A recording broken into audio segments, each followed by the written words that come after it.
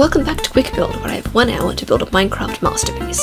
Today, a nice luxurious sky boat. I ended up spending the first half hour just trying to get the shape right, and it's not bad for half an hour. I can live with that. Then I decided to go with a balloon sail rather than a traditional sail, inspired by one of my favourite paintings, Michael Chauvel's Flying Dutchman. I made that mostly with autumn coloured terracotta and a little bit of mangrove wood. Then I tied it off with a little hidden chicken.